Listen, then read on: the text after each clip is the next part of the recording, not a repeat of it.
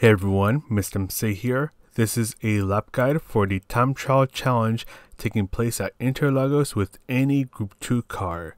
For this guide, I'll be using the 2016 Nissan GTR GT500 and this is on the racing medium tires. BOP is on and tuning is disabled.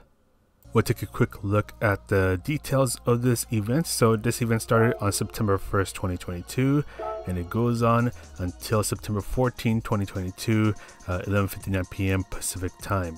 Your goal is to try to get the fastest time that you can do, hopefully under the 3% time margins so you can claim the 2 million credits when the event ends. And once again, BOP is on, tuning is forbidden, and we're under racing medium tires. The rewards will be distributed the moment the event ends. So let's go ahead and get started with the lap guide. So shortly after you start the new lap, you want to bring yourself towards the right side of the track. There we go. And brake before you reach the 50 meter board.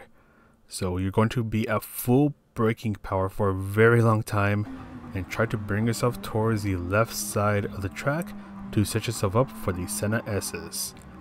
You can go down to second gear and just carefully get on the throttle, do a little lift off of throttle as you go through the right turn, and just try to carry as much speed as possible, taking advantage of the curves as the curves are part of the track limits.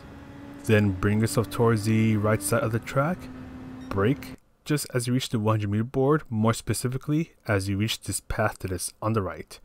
Full braking power ease off of the brakes as you're turning in. Let the car coast for a short moment to let it turn in and then get on the throttle. Uh, you can also see I briefly go down a gear to help the car turn in a bit more.